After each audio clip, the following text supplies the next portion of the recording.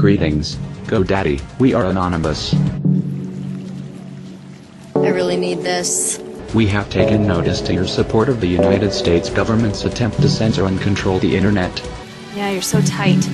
We are talking about your support of the Stop Online Privacy Act. You know, you look really familiar. Yeah?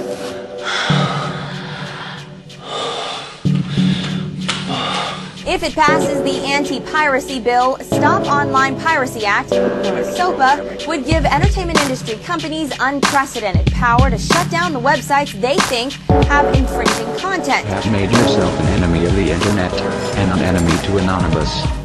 Oh my goodness, you're the GoDaddy girl. Yeah, that's yeah, that's me. This December the 29th, we urge all users of GoDaddy to stop using their service and move to another domain host. Then pub. I love GoDaddy.com. I mean, websites, domain names, hosting. For less than a dollar a month. Yeah.